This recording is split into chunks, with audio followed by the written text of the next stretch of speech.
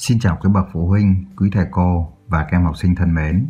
Trong video hôm nay chúng ta tìm hiểu bài số 16 Dãy số liệu Sách giáo khoa môn toán lớp 4 Bộ sách Chân trời Sáng tạo Trên kênh của chúng mình thì ba bộ sách thầy làm rất là chi tiết, rất là đầy đủ. Hãy tìm theo bài, theo trang và theo bộ sách để chúng mình học nhé. Bây giờ thì hãy mở sách ra trang số 37 nào. Rồi, như vậy ở đây có bốn bạn là nói chuyện với nhau, đúng không nào? Và bốn bạn này chắc là đại diện cho bốn tổ, đúng không? Và bốn tổ này chúng ta vừa thực hiện một cái dự án đó là gì? Nuôi thỏ. Vậy thì bốn bạn nói chuyện này. Bạn nam này mới nói này, con thỏ của tổ tớ là con thỏ nặng nhất trong bốn cái con thỏ này. Bạn mi này đâu có được, con thỏ của tổ tớ mới là con gì nặng nhất. Như vậy chắc chắn bạn này cũng sẽ nói là gì con của tổ tớ còn nặng nữa cơ. Bạn này cũng sẽ nói như vậy đúng không? Vậy thì để giải quyết được cái tình huống này thì chúng mình sẽ phải làm gì? À đó là chúng ta sẽ phải cân bốn cái con thỏ này, đúng không? Và chúng ta sẽ sắp xếp các con thỏ này theo một cái trình tự. Từ gì? Lớn đến bé hoặc từ bé đến lớn.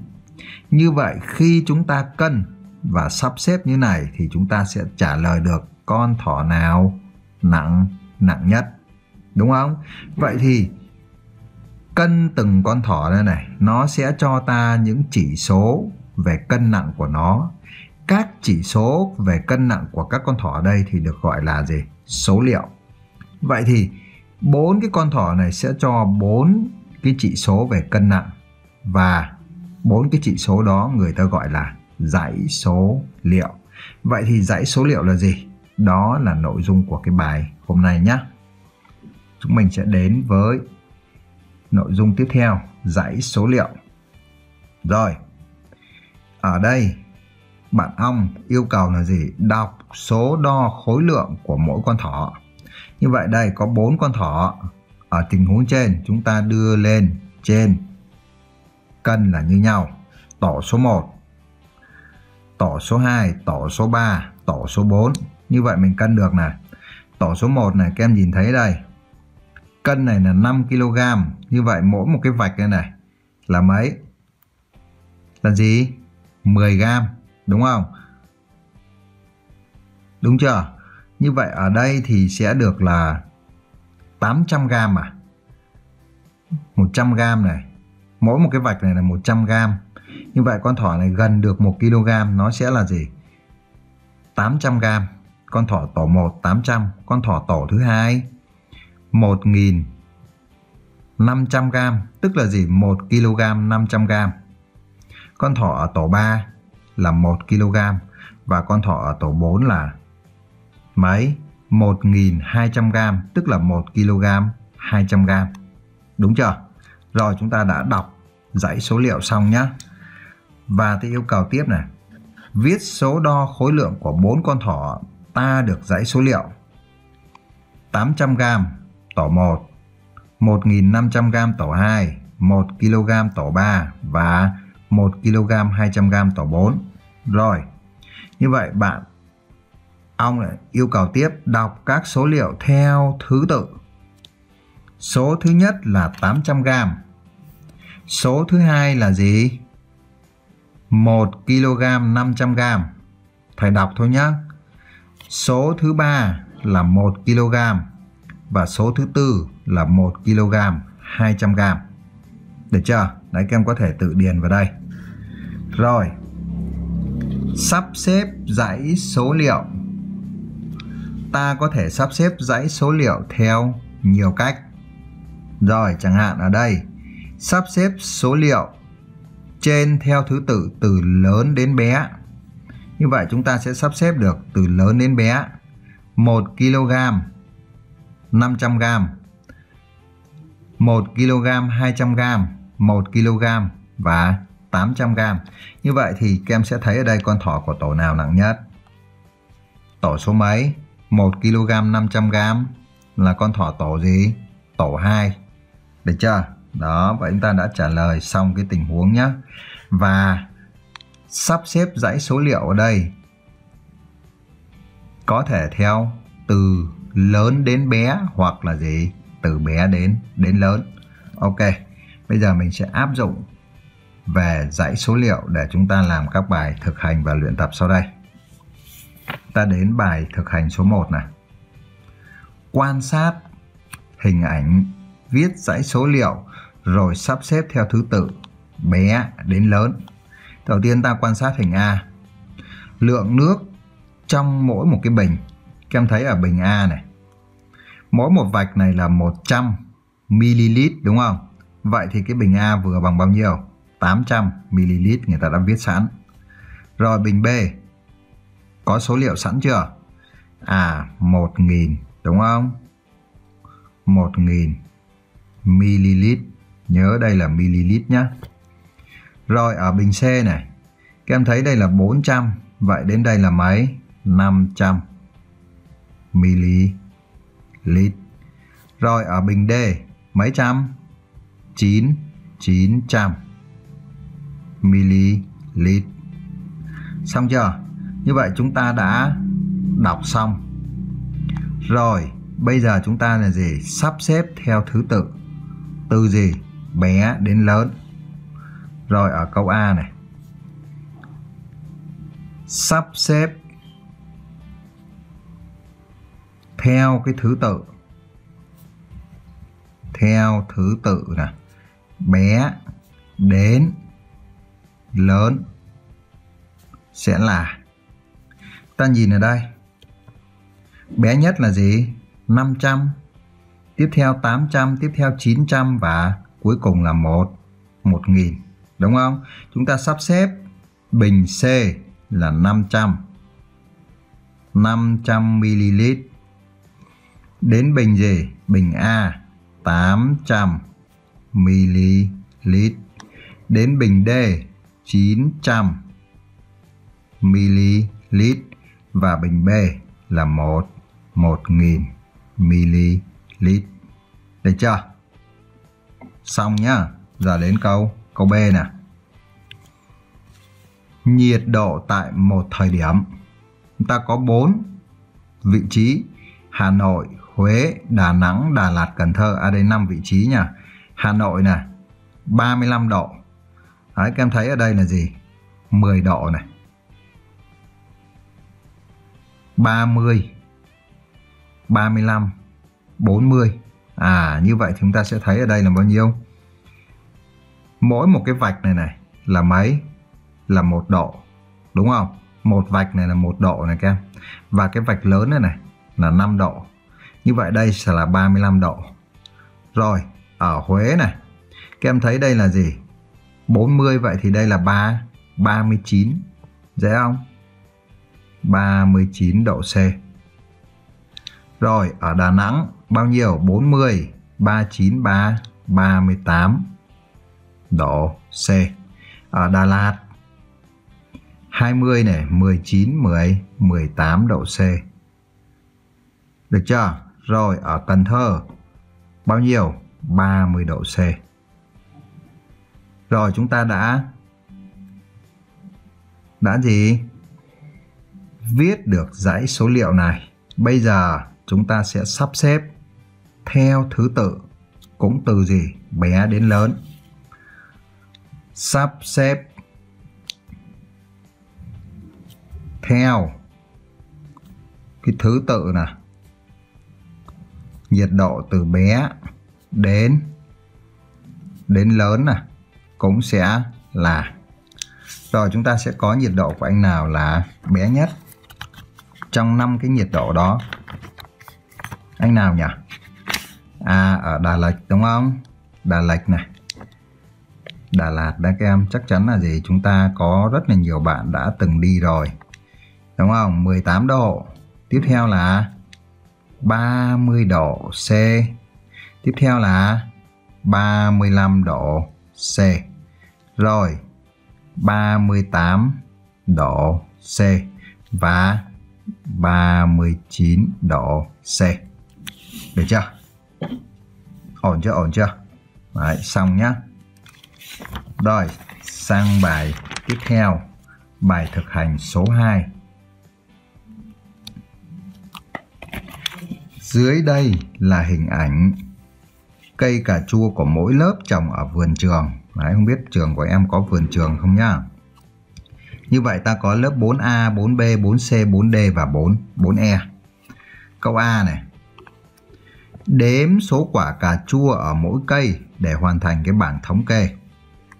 Như vậy đây người ta đếm cho mình lớp 4A là có 9 quả này. 1, 2, 3, 4, 5, 6, 7, 8. 9 quả người ta ghi đây. Rồi giờ sang 4B chúng ta đếm bao nhiêu điền vào đây. 1, 2, 3, 4, 5, 6, 7, 8, 9, 10, 11, 12, 13, 14, 10, 15 quả. Như vậy lớp 4B có là 15 quả cà chua. Lớp 4C 2, 4, 6, 8, 10, 12, 13 quả. Ờ, các em đếm thôi đúng không? Rồi lớp 4D này 2, 3, 4, 5, 6, 7, 8, 9, 10, 11, 12, 13 quả. Rồi, và lớp 4E 1, 2, 3, 4, 5, 6, 7, 8. Như vậy lớp 4E này có mấy? 8 quả. Chúng ta đã xong câu câu A nhé. Giờ đến câu B nè. Viết dãy số liệu 9 là của 4A. Tiếp theo 10, 15. Tiếp theo là 10, 13. Tiếp theo là 10, 13. Và đây là 8. Chuẩn chưa? Chuẩn chưa nào? Rồi. Hai anh này là bằng nhau à? Đếm lại anh này coi. 2, 3, 4, 5, 6, 7, 8, 9, 10, 11, 12, 13 đúng rồi. Như vậy đến câu B. Câu B thì yêu cầu là sắp xếp dãy số liệu theo thứ tự từ bé đến lớn. Các em sắp xếp được không? Số nào bé nhất nhỉ? 9 nè. 9 là bé nhất. Rồi, ở đây có À xin lỗi 8 là bé nhất chứ. 8 nè. Sau đó đến gì? 9 nè. Ở đây có hai số 13 thì các em chỉ cần lấy một số làm đại diện và 10, 15. Được chưa? Rồi. Sắp xếp tên các lớp theo thứ tự số lượng quả từ ít đến nhiều. Ít đến nhiều. Ít tức là gì? Bé. Nhiều là lớn. Như vậy tên. Tên gì các lớp nha. Vậy thì 8 này này sẽ là của lớp nào? 4E. Thầy ghi đến đây luôn nhá. Ít đến nhiều này chúng ta sẽ có đầu tiên là 4E. Rồi, tiếp theo là 4A. Rồi, tiếp theo là 4C và 4 4D bằng nhau. 4C 4 4D hai anh này bằng nhau nè. Rồi và cuối cùng là gì? Cuối cùng là anh 4 4B nhiều nhất. Được chưa? Đó. Rồi, sang bài số 1 phần luyện tập. Đọc biểu đồ tranh sau. Số quả cà chua trên mỗi cây của lớp trồng. Rồi, lớp 4A, 4B, 4C, 4D, 4E. Rồi, như vậy ở đây thì yêu cầu gì? Các em đọc biểu đồ này, có phải 4A vừa nãy chúng ta tìm là mấy? 9 không? Hay là khác rồi? 1, 2, 3, 4, 5, 6, 7, 8, 9. Đúng rồi. Như vậy chúng ta ghi lại thôi nhá. Lớp 4A chúng ta có là 9 nè. Lớp 4B là 10, 15 nè.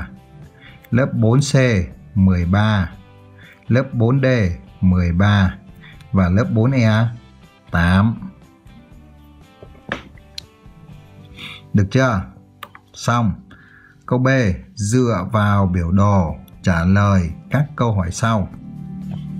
Rồi, câu số 1. Cây cà chua của lớp 4D ít hơn của lớp 4B bao nhiêu quả? 4D là 10, 13, 4, B là bao nhiêu? 15. Như vậy thì 15 trừ 3 thì bằng mấy nhỉ? À, quá dễ đúng không? Cây cà chua của lớp 4D ít hơn. Cây cà chua. Các em ghi lại đề bài thôi. Của lớp 4B mấy quả? 15 trừ 13 à là mấy? Hai quả. Được chưa? Rồi, ý thứ hai nào? Cây cà chua có nhiều quả nhất hơn cây cà chua ít quả nhất là bao nhiêu? Nhiều nhất là 15 ít nhất là gì? 8 15 trừ đi 8 bằng mấy? 7 dễ không? Quá đơn giản đúng không? Cây cà chua. Nhiều quả. Nhiều quả nhất. Hơn. Cây cà chua cây cà chua, ít, quả, nhất, mấy. À chúng ta vừa tìm xong 15 trừ đi 8 là mấy? 7 quả. Được chưa? Rồi, sang phần tiếp theo đó là phần hoạt động thực tế. Người thì yêu cầu mình như sau. Thống kê phương tiện di chuyển từ nhà đến trường của học sinh trong lớp vào ngày hôm nay có các phương tiện đây đi bộ, đi xe đạp, xe máy do người lớn chở, xe buýt và các phương tiện khác. Và thì yêu cầu mình thực hiện tương tự giống bài thực hành số 2 á. Như vậy đầu tiên thì chúng ta phải làm cái gì nhỉ? Thống kê các phương tiện. Đấy, cái này chúng ta chỉ là tính chất tham khảo nhé, bởi vì sao? Mỗi một vùng miền mỗi một nơi, địa điểm trường của các em sẽ có cái số liệu nó khác gì, khác nhau, đúng không? Có nơi chúng ta đếm không không nổi, đúng không nào? Từ nhà đến trường nè.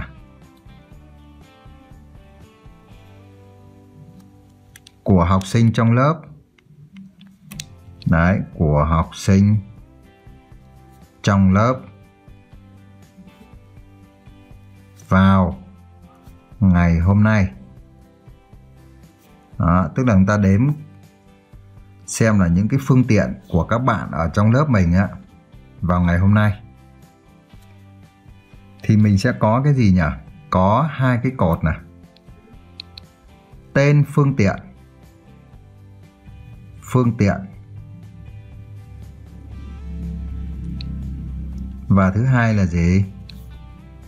Người ta gọi là gì nhỉ? Số. Số lượng.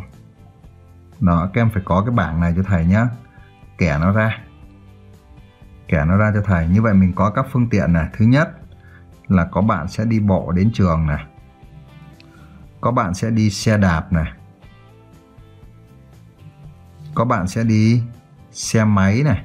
Xe máy là do cha hoặc mẹ chở hoặc là người thân chở này. Có bạn sẽ lại đi phương tiện là xe buýt này có bạn đi phương tiện khác. Ừ. có bạn sẽ đi dạng phương tiện khác. Khác ở đây có thể là gì? Chỉ có dạng tàu gì thôi. Tàu điện, đúng không? Đấy, chúng ta chỉ có thể có cái loại đó nữa thôi. Chứ không có thể nào mà đi máy bay mà đi học hàng ngày được, đúng không? Đó là cái chuyện vô lý. Phải không? Cũng không thể là đi chỉ đi ờ, xe taxi mà đến gì? Đến trường được.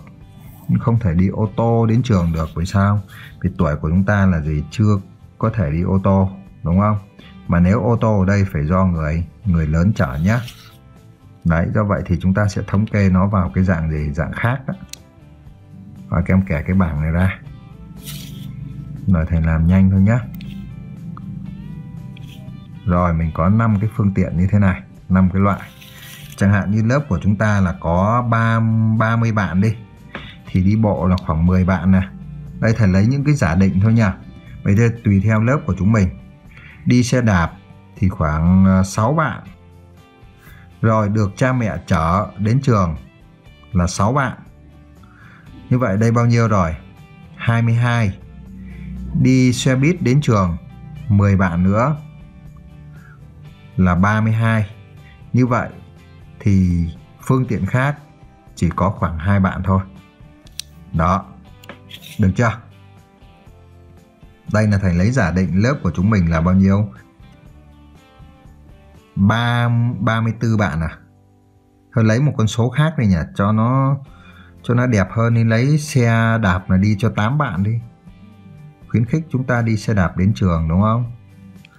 Rồi, như vậy ta có bảng số liệu xong nhá. Bây giờ mình mới làm là gì? Theo cái thực hành 2 này, mình đếm thống kê xong đúng không? Đầu tiên chúng ta sẽ làm này, câu A này, viết dãy số liệu. Viết cái dãy số liệu này. Đó, vậy thì dãy số liệu này chúng ta có thể viết theo từng loại phương tiện này. 10, 8 này, 6 này. Ở đây 10 có rồi đúng không? Ta không cần liệt kê ra nữa. 2. Rồi đến câu B. Sắp xếp các số liệu theo thứ tự từ bé đến lớn. Sắp xếp các cái số liệu này. Từ bé đến gì? Đến lớn à. được chưa? Thì bé nhất là mấy? 2 tiếp theo 6 tiếp theo 8 và tiếp theo là 10 được chưa? Rồi, sắp xếp tên theo thứ tự số lượng. Từ gì ít đến nhiều, tức là chúng ta sẽ sắp xếp phương tiện. Được chưa? Sắp xếp tên, cái phương tiện. Phương tiện ta đi á. Theo thứ tự.